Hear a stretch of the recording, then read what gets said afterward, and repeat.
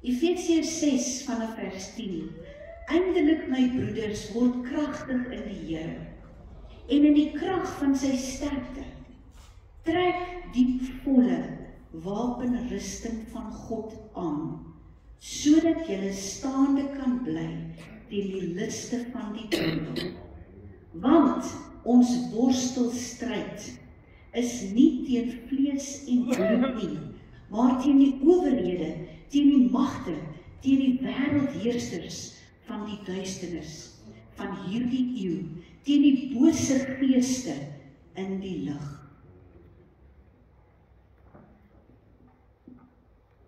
Aan die Bybel sommer net hier sê.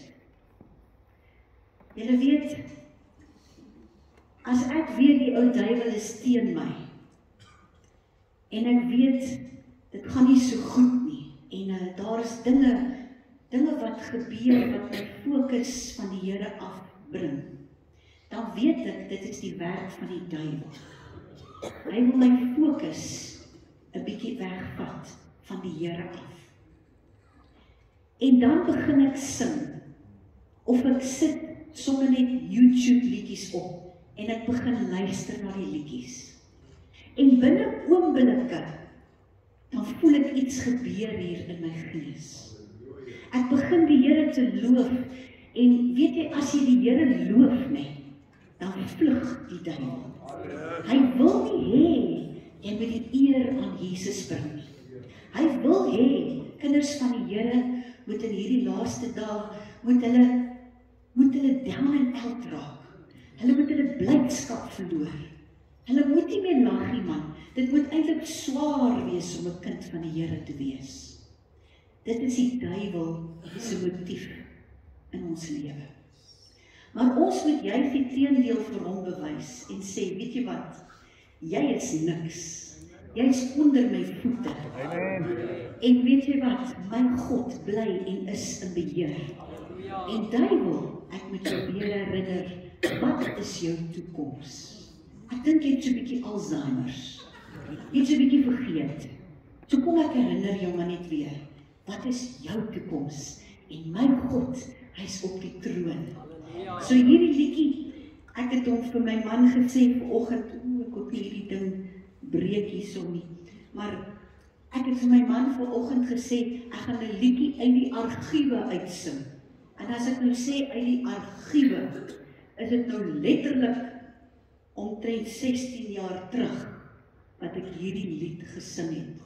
En gisteraand toe oefen ek hom daar in die bed en ek dink toe, "Ah, ek kan hom nog sing." Want kyk, mense stem het mos nou baie verander. Ek sê sommer dit soos dit het eintlik mature geraak. Ek raak nou dieper. Ek is nie meer hier 'n hoë nootjie nie, maar toe sing ek hom gister en ek sien ek kom nog daar uit oom. Ek kom nog daar uit. So ek gaan hom sing vir julle want ek wil hê jy moet die boodskap hoor in hierdie lied. Daar's twee versies. Twee verhale wat ek nou gaan sing.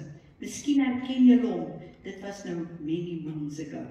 I will worship you Lord. Dankie my liefie.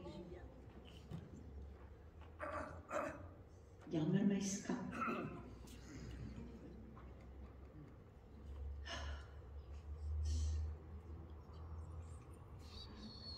I will worship you, Lord.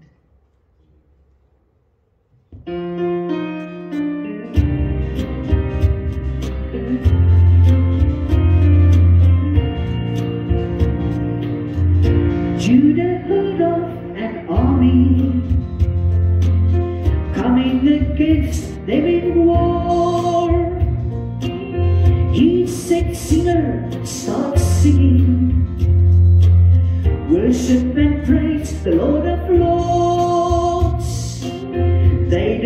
have to go to battle. Their opposition not even seen.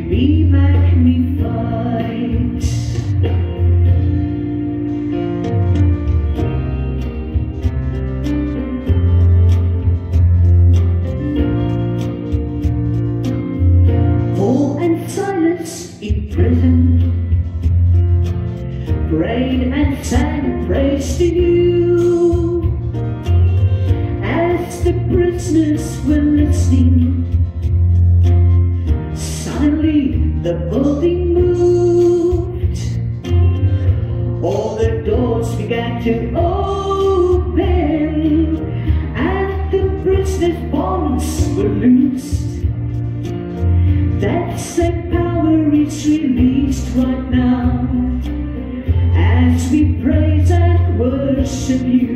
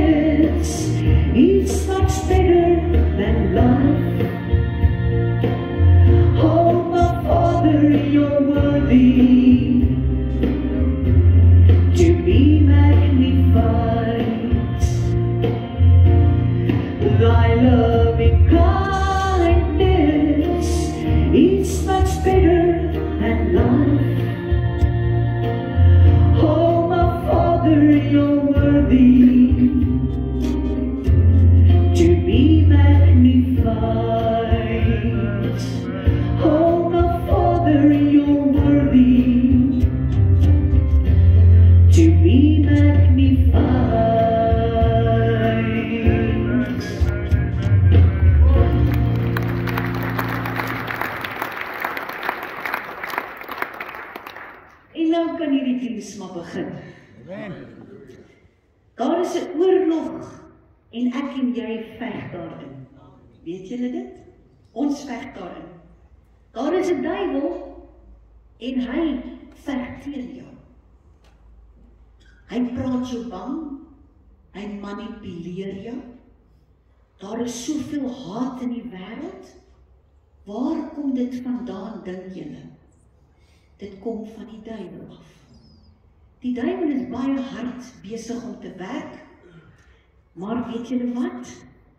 Jesus is en bly in beheer. En hy gaan kom, ja, op die wolke. Ja, dit is seker. En in die volgende lied gaan ons nou jubel voor die Here. Ek gaan 'n meisietjie aan julle voorstel voordat ek begin. Haar naam is Kiara. Pragtige naam nê. Kiara. En uh sy gaan vir my bietjie hier kom te illustreer dit wat ek gaan sing. Ek dink sy kan sommer hier kom staan. Pragtige meisie.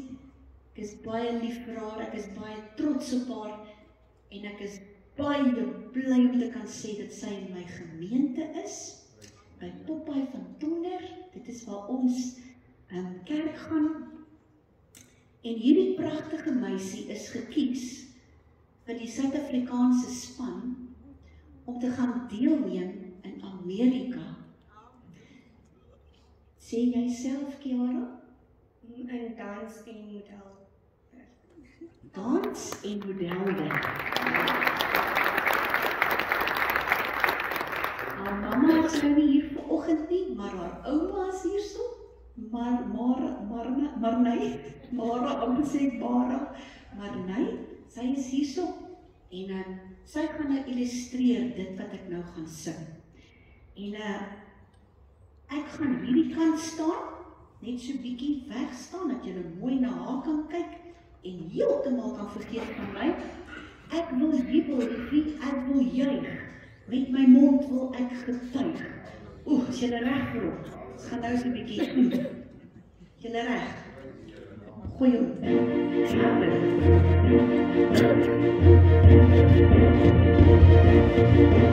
As ek opstaan in die môre met die breek van 'n nuwe dag, het ek 'n rede om weer te lewe. Dis die grootheid van die skepper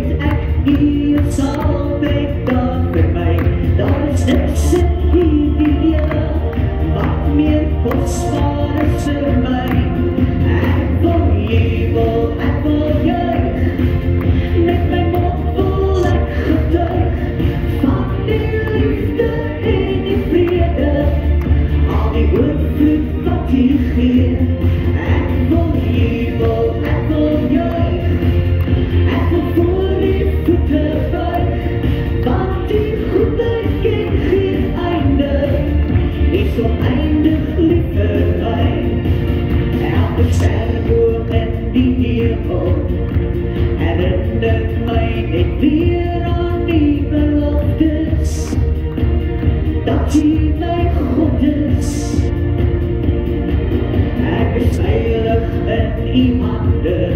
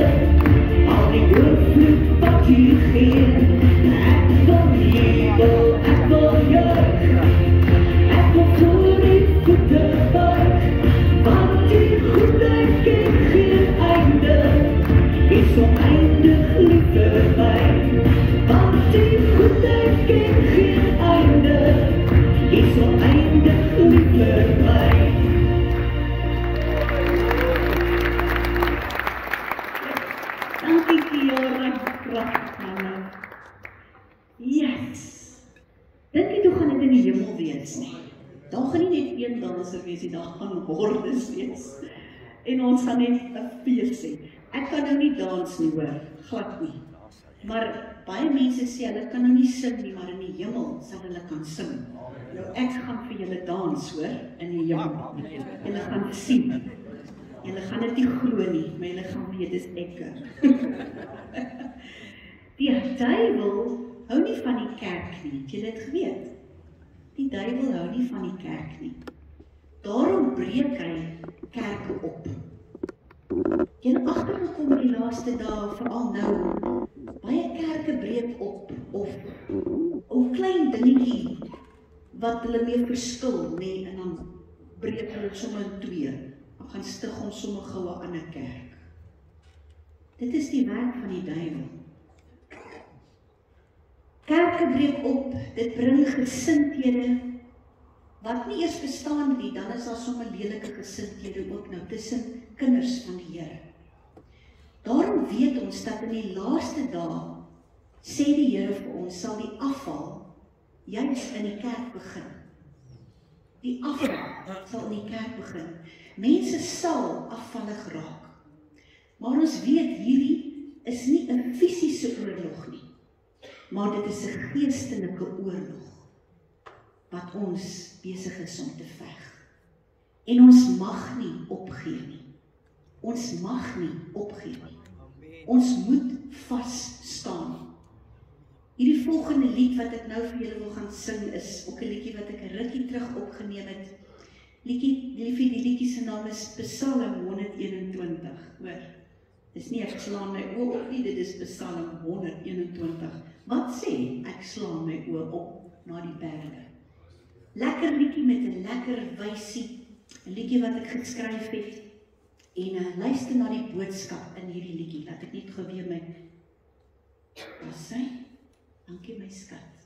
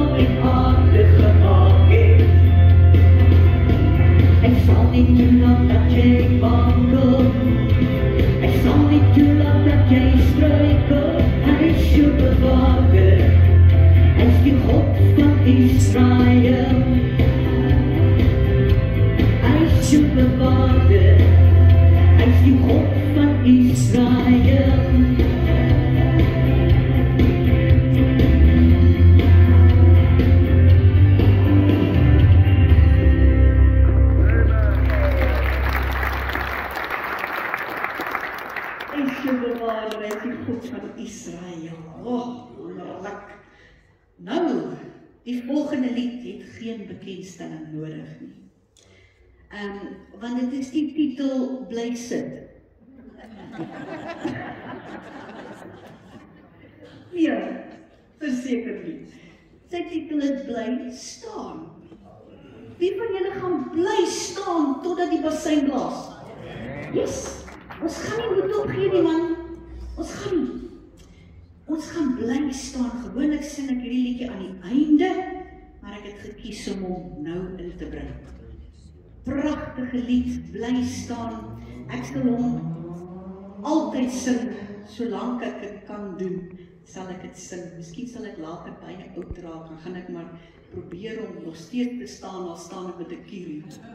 Maar staan sal ek staan. Dankie my liefie, bly staan. Kom ons gooi hom.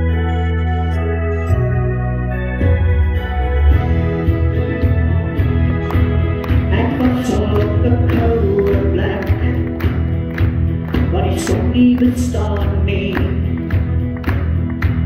Lost in the blue Lost in my dormir En wat zal in die donker zien Je vlak te Sionen Mijn hart fall. val En mijn zielse tranen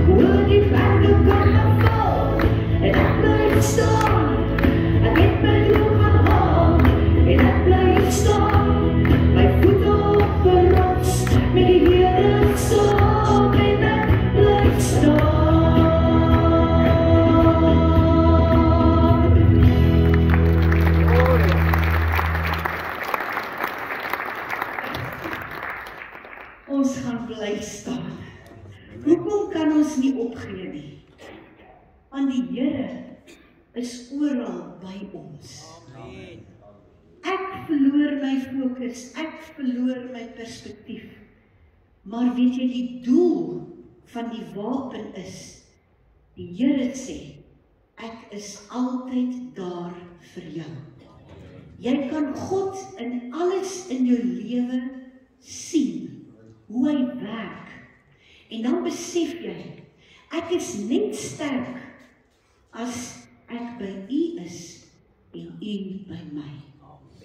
Dis al hoe ek die vyand gaan oorwin. As ek weet die Here is met my, maar ek moet ook naby die Here wees. Amen. Ons kan nie net dat die Here sy wil moet doen, maar ons ons ver van die Here af nie. Nee, dit werk nie so nie. Hoe hy werk en besef ek is nie sterk as u by my is. U is ek is sterk as u by my is en ek by u. So jou wapen is die drie eenheid. Vader, Seun en Heilige Gees. U is met my Here altyd. En as ek nou hier moet moet dink en ek moet vir julle vra. Wie van julle wil vir my kom vertel van van jou jou hele lewenspad? Hoe die Here jou deurgedra het? Watter pad het hy jou gevat? 'n Ruwe pad, 'n grouwe pad, 'n baie pad vol slaggate dalk, 'n pad vol heuwels, berge, dale. Gaan jy vir my getuig en jy gaan vir my sê, "Bernice, ek is deur dit alles." Maar die Here het my nooit gelos nie. Die Here was altyd daar. Ek het 'n verrassingkie vir julle vanoggend en ek wil vir u vra om gou hier voor by my te kom staan. Hierdie vrou kan self vir julle vertel hoe goed die Here is. Julle weet, 'n mens wil mos die wonderwerk sien, nee. Ons hoor dit op Facebook en ons lees dit op Facebook en al hierdie goeters, maar hier staan die wonderwerk hier voor julle vandag.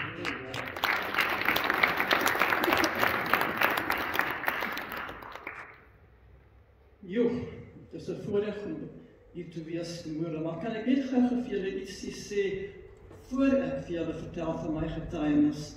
Hierdie liedjie bly staan kom 'n lang pad saam met my Ek het 'n klein hondjie by die huis by die naam van Molly. En op my foon as my foon lui, dan kom daai bietjie deur. Dan weet ek as iemand by die hek, ek moet oopmaak op my foon. En Molly kan reg agter in die tuin staan, reg agter. En as sy daai bietjie bly staan hoor, is sy soos 'n vlug hier verby my deur toe. Sy was swes by die deur sy wil eers by die deur wees om te sien wie kom kuier of wie kom haar haar of haar 'n stappie te vat en dis daar die bly staan bietjie. Ja, dis die waarheid. Here het my hier 'n baie moeilike tyd gebring. Die 19de Oktober het my studie begin waar ek in die hospitaal beland het met 'n emergency operation. Nee en ek het in St George's beland. En die dokters het my ingevat na die teater toe en uh my kolon het gebars. En ek het nie gedink dit was die fout met my nie want ek het ek het bietjie pyn op my kante gehad. Ek dink dit is deur my garage deur wat ek oopmaak en toemaak en ek dink dis my probleem en al die tyd was dit nie. Die dokter het gesê ek stuur jou reg die hospitaal, jy gaan nou in. Het eers 'n kansie gegee om by die huis uit te kom nie. En hulle het geopereer. En terwyl ek daar gelê het in die teater, het hulle deur gebel um groot skeer hospitaal in die Kaap om uit te vind wat moet hulle doen. Want hulle het 'n gewas op my linkerkant gekry ook ek gebruik nie daardie K woord of daardie C woord nie. Ek gebruik dit glad nie. En dokters daarbo het vir vir hulle gesê Moenie aan dit raak nie. Los dit uit. Doen wat jy moet doen, maar moenie aan daardie ding raak nie. En ek is toe uit teater uit. Ek was 7 ure in die teater gewees. En Bernice en hierdie vroutjie wat hier voor staan, staan op staan op. Op, ja. Elsie en 'n ander vriendin van my Die drie van hulle het in dankie Elsie, ek is baie lief vir jou. Well, you were very precious to me. Um, hulle het in die, in die uh, wagkamer gestaan en wag en toe ek uit die uh, uit teater uitkom met pype en uh ventilator, jy weet hoe so lyk like, mense as uit die teater uitkom. Sakkies om hom en allerlei eintlik hy dood gaan net daar. En die dokter gaan deur, hy kom uit hy gaan deur na die wagkamer toe en hy praat met Bernice. Sy het 'n skrikkelike gehuil oor ek. En hy het op sy knieë gegaan voor haar. En hy het vir haar gesê: "Daardie vrou en na ouderdom moes net deur hierdie operasie gekom het nie. Maar weet jy wat? Dis wat hy gesê het. Maar God het 'n plan met my gehad.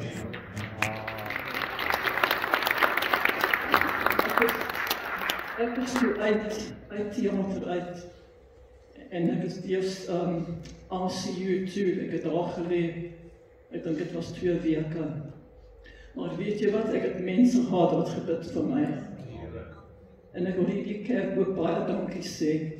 Die twee pastore, pastoor Jaggie en pastoor Theo ja die mense van hierdie kerk wat my deur gedra het. Ek het mense reg deur die land wat vir my gebid het. Die Here was wonderlik vir my gewees. En ek het uit ACU uit en ek het by hierdie wonderlike vriendin in Johan gaan bly vir 'n maand. En ek kan nie vir julle sê wat alles hierdie vroukie vir my gedoen het nie. Sy het krag van die Here afgekry om te doen om by my te staan en vir my te help met dinge wat ek self nie kon doen nie. Hulle was wonderlik Johan wat daar voorst, wat daar agter staan wat ons ondersteun het dat sy vrou wonderlik ondersteun het in die hele ding. Ek was 'n maand by hulle gewees en net voor die maand op was ek het so 4 uur die oggend wakker geword ek was siek gewees. Sê Johan hier ons gaan jou aanvat dokter toe hospitaal toe. Jy kan nie so aangaan nie. En uh, ek is weer hospitaal toe. Toe lê ek weer daar vir so 2 weke maar nogtans ek wil net dit vir julle sê wat ek in my kop gehad het ek is nie een wat prophets en al daardie goed doen nie, maar ek het in my eie gevoel hier lê op die bed in die teater. Die Here staan hierdie kant. Die vyand staan daardie kant. En die Here sê vir die vyand, "You leave her alone. She's my child." Get out of here, get out. En die Here het my deur gedra. En vandag kan ek hier staan en ek kan getuig van die goedheid van die Here. Mense wat ek nie eers ken nie, mense wat ons op toer ontmoet reg deur die land, bel my, stuur my boodskapies. U jy's 'n wonderwerk. Die Here het vir jou so deur gedra. En al kan ek nie ver toe saam met Bernice nie. Ek toer nog kort kort toertjies, nee. tri, Triton, não, é lá, meia Triton. Ele lá, esse, e ó, posso contar pra vocês? Assim. E ó, tá sem opção. Então assim, começou, começou. Stop. Iris, iris, iris, iris, iris, E iris, iris, iris, iris, iris, iris, iris, iris, iris, iris, iris, iris, iris, iris, iris, iris, Dorothy gaan oorvat van my op ver toere met Dorothy. Nie nie um Jeffrey stuur se plekkies nie. Nee. Ja, die dokter het vir Bernice gesê, "Eve, mag glad nie ver tuur meer nie. Nie met my situasie nie. Ek moet sê ek dra sakkie en uh ek hanteer dit baie baie goed. Ek het geen probleme met dit nie. Nog 'n ding wat Here my weet raas met die sakkie. Maar ehm um, ek sê ek sê altyd God is in control of my whole situation. My whole situation. And ek sal bly staan. Die mense is people are overwhelmed. People are overwhelmed by the way I am and the, the way God has carried me through things that I can that I'm still doing that I thought I wouldn't be able to do. I'm still doing those things. Yes, I've got to be careful. God's given us enough wisdom to mind out and not. I won't pick up speakers and stuff like that. But I know what I can do, and God has been so good to me. Dankie Kusike.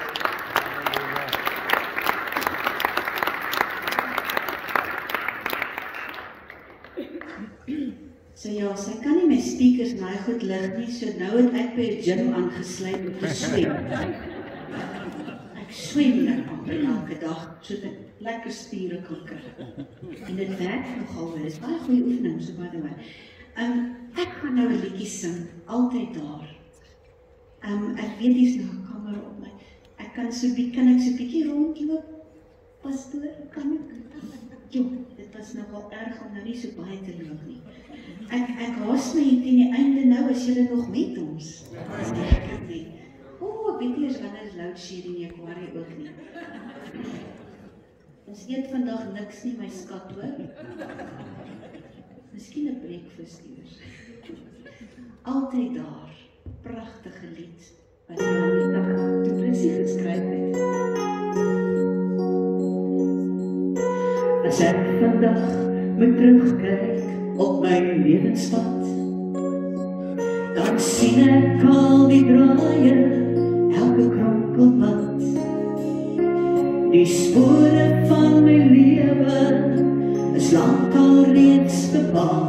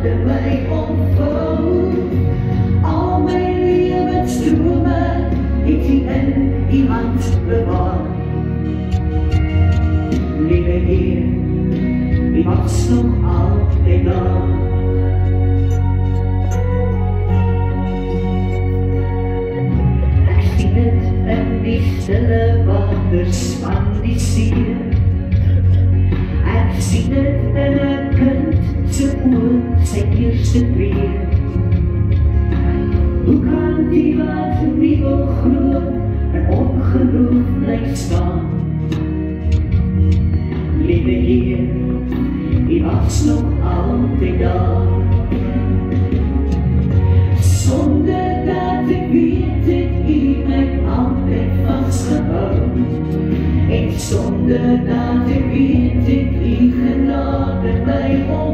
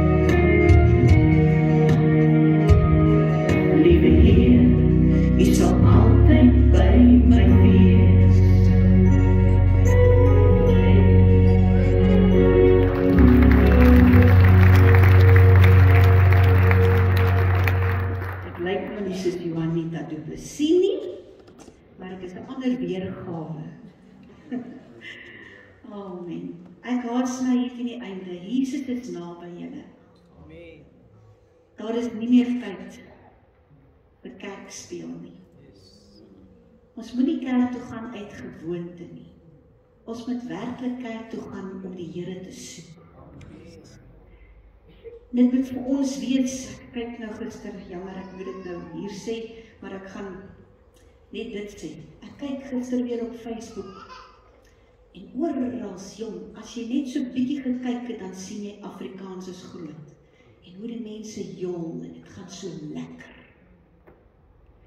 Maar weet julle wat dit is tydelik van aard. Dit gaan verby. Ongelukkig moet ek dit sê vir julle. Feeste gaan verby. Daar wag 'n groot fees. Wat ek in woorde nie kan sê hoe groot daardie fees gaan wees nie. En dit gaan die fees van alle feeste wees waar ons die koning al die eer en lof kan gee. Nie 'n mens nie, maar die koning van alle konings. En ek wonder, ek wonder of ons so opgewonde is. Dat ons so opgewonde kan raak as ons weet Jesus kom môre. Dat ons al in die rye gaan staan en reg is as Jesus kom. Ek praat van myself ook. Ek praat met julle eerlik. Ek dink dit het tyd geword dat ons die Here meer behaag as die wêreld. Amen. Want die woord sê dit ook moenie die dinge van hierdie wêreld lief hê nie. Hierdie wêreld gaan verby. Soek die dinge wat daarbo is. Die lewe is vol seer en stikkende mense. En ons het nie meer tyd om te mors nie. Ons moet uitgaan en vir daardie stikkende mense Jesus bring. Amen. Ons moet vir mense gesond maak met Jesus se woord en deur gebed. Ek smeek julle. Hierdie volgende lied, ek het nog 3 liedjies oor. Is Come Jesus Come. Pragtige lied wat ek in die lockdown gehoor het wat 'n man gesing het. En oeg tot daai woord hy so lekker rusty stem. En toe ek daai woorde hoor, toe sê ek in my hart ook, ja Jesus kom. En alhoewel Jesus nog nie gekom het nie, omdat hy wil hê daar moet nog baie mense Jesus in hulle lewe ontmoet. Daarom het hy nog nie gekom nie, maar ek dink hy's lankal reg om te kom. Amen. Kom ek sing vir hierdie pragtige lied. Maak toe jou oë as jy na hierdie lied luister, want ek wil hê jy moet na hierdie woorde van hierdie lied luister. Dis presies hoe dit gaan in 'n tyd soos die waarin ons nou lewe. Come Jesus come.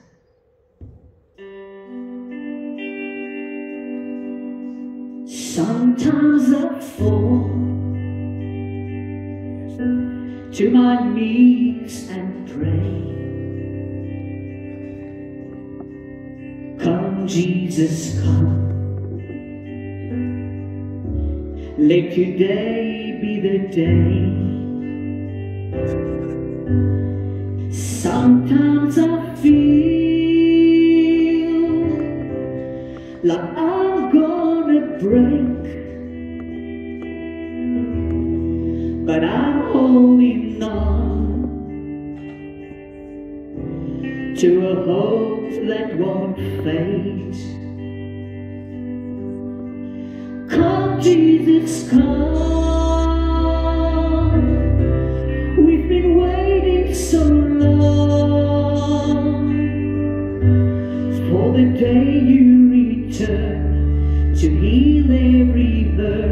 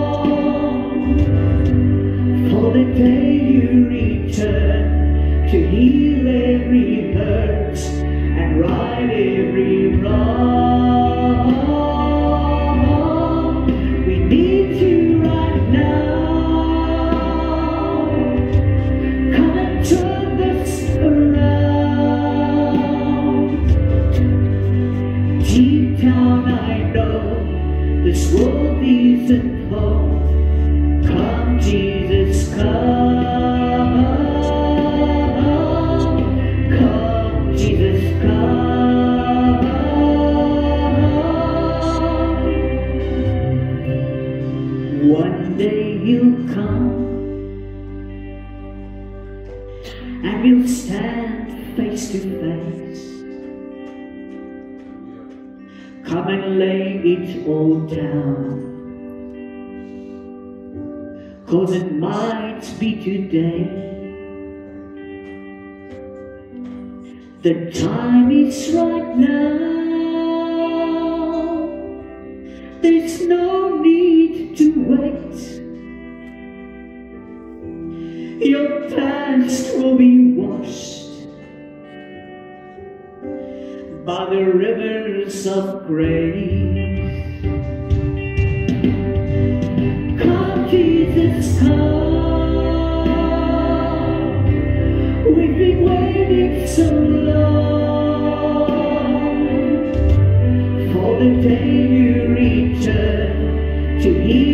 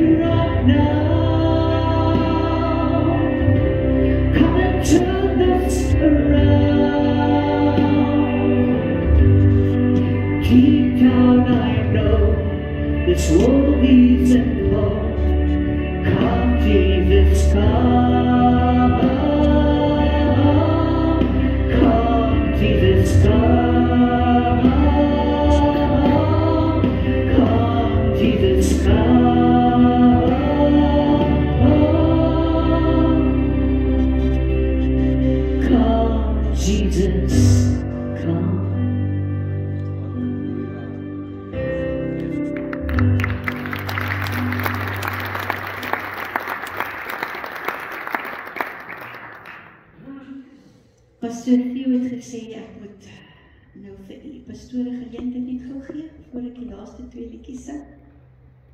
Dis die cherry op die koek. Halleluja. Maranatha. Kom Here Jesus kom. Amen. Geliefdes. Ek beam elke woord wat ons vanmôre van die Here ontvang het. Die tyd is naby en die Here se koms is om die draai. Daarom het ons nodig om ons saak met die Here reg te maak. En moet ons sy aangesig begin soek. Moet ons ons oë gefestig hou op dit wat in die hemele is en nie dit wat hier op aarde is nie. So Bernies, baie dankie vir daardie woord. En so wil ons dan nou voor sy afsluit of tydens die sing van die volgende lied dan ook haar met 'n seën wegstuur. Net soos sy ons geseën het, vra ons ook dat die Here haar sal seën.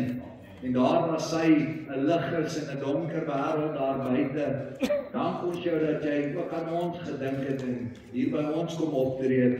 En vra ek elkeen van ons om dan ook ons harte vir haar oop te maak sodat hulle hierdie goeie werk kan voortsit vir die Here. So tydens die sing van die volgende lied sal hulle weer omkom en dan net vir haar 'n liefdesoffer en vir Johan natuurlik opneem. Mag die Here u ryklik seën. Dankie Bernies.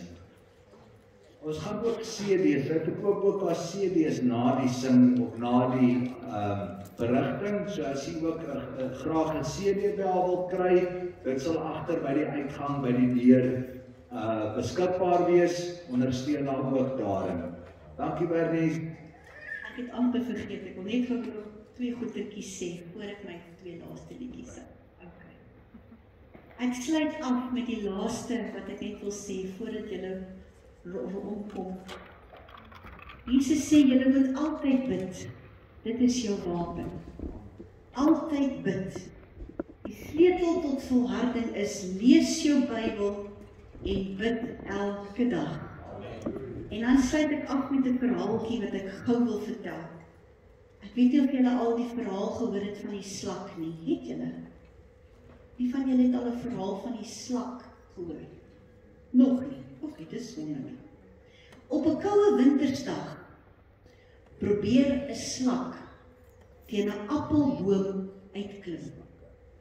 Terwyl hy teen die stam opseil, steek 'n wurmpie sy kop by die gaatjie van die bas uit en sê: "Jy mors jou tyd, slak.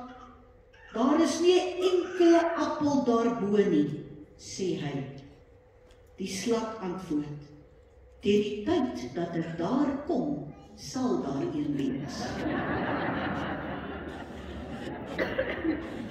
Volharding beteken hou aan, hou end uit ten spyte van want die beloning wag en weet julle die beloning is die kroon wat die Here vir my en jou op ons koppe gaan sit as ons volhard tot die einde toe.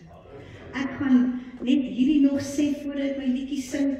Ons gemeente hou ek het toestemming gevra om dit te adverteer, hoor. Um ons gemeente, die evangelisasie sentrum of die sentrum hou die 12de Mei, dit is 'n Vrydag aand, hou ons 'n wonderlike gospel aand. Ons noem dit jou vlerke. Sprei jou vlerke gospelfees. My man het die naam gegee. Liefie, pragtig. Dit 'n baie oulike man hoor. En uh die mense wat gaan optree is ek weet nie of julle Bernie Slabber ken nie. Ja, dis my tweelingsuster. Bernie Slabbert en dan Jacques Kilian, uh Kobie Botha, Elise Strydom en dan die Lorraine skoolkoor, laerskoolkoor. Dit gaan 'n wonderlike aand wees. Daar gaan ook goedjies aangebied word te ete vanaf 6uur af en 7uur is die gospel aand en ons as gemeente ondersteun julle ook nogal hoor as julle gospelfees hou.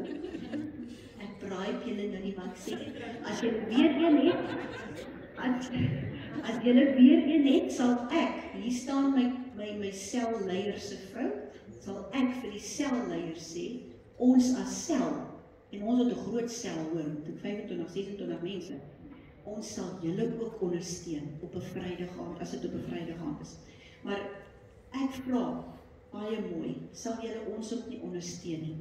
Hierdie fondse gaan ten bate van hierdie meisietjie Kiara wat in Amerika gaan optree en ehm um, haar mamma werk baie baie hard sy verkoop ek weet nie hoeveel etes elke week nie en sy het nog fondse nodig en dit is ons laaste poging om te probeer dat ons sterwe vol kerk kan hê daardie aand. So hierdie plakkaatjie is daar agter, daar is ook kaartjies sommer daar agter ook is R30 'n kaartjie, dit is nie baie nie. Um, ons kan R150 gevra, soos uh, die Afrikaans is groot, maar ons het besluit ons hou dit maar min, dan kan jy nog eet op daardie aand lekker. Ek sluit af met ons koning kom. En ek wil hê julle moet almal opstaan as ons hierdie lied sing. Ek dink ek gaan maar afsluit met hom. Ehm um, ook julle gaan eers terwyl ek sing. OK. Maar julle kan kan hulle staan dan? Ja. Kan julle staan en okay, staan. Ek is lief vir julle. Ek het ook musiekstokkies agter julle binne getrek. Baie lekker, lekker.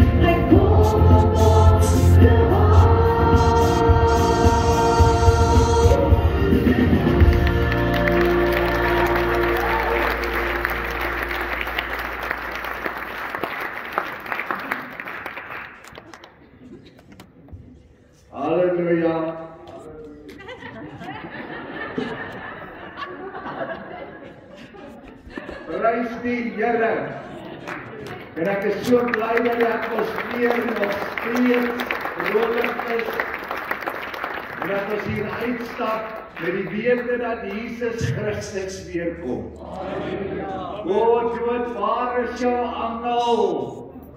En die Here kom en haal ons uit die donkerste dieptes van die sonde las uit. Sterf aan daardie kruis.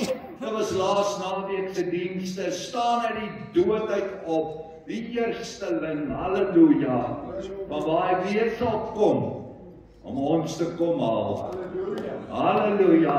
Daar is meer as genoeg rede om vrolik te wees. En as jou duiwel aan daai kant van die bed staan aan die uur, dan weet ek Christus staan die kant langs my. Amen. Amen. Kom vanaand op na die huis van die Here toe. Weet jy wat ek gaan die tema vir gee en as jy dit mis, het jy uitgemis. Ons het mekaar nodig. Ons het mekaar nodig. Vanaand om 6uur hou ons diens. Kom hoor wat die Gees van God tot ons harte wil spreek. Ons het mekaar nodig. Kom ons staan net so en ons vang die seën van die Here. Mag die genade van God, die liefde van ons Here Jesus Christus en die leiding van die Heilige Gees met elkeen van u wees. Amen. Amen.